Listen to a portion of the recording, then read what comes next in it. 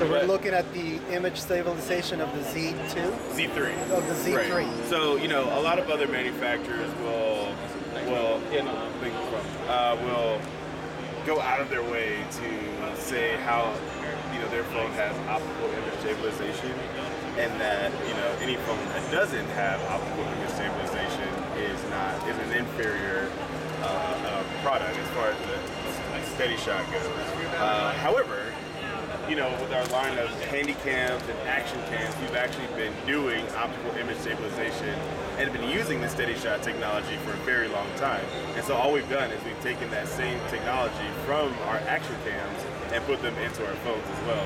So this is just a live demonstration of what that looks like, whereas this kind of puts it into perspective of all the different applications for that steady shot.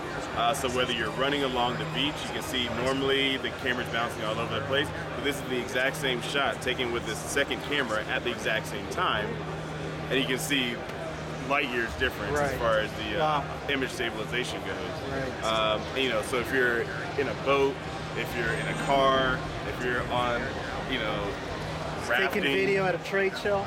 taking video at a trade show. This is actually a Sony Handycam. It does not have the image the stabilization. the It's an older shot. one. Yep. Right.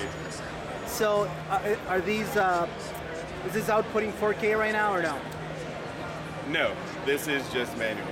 Uh, but there is steady shot in the 4K. Okay.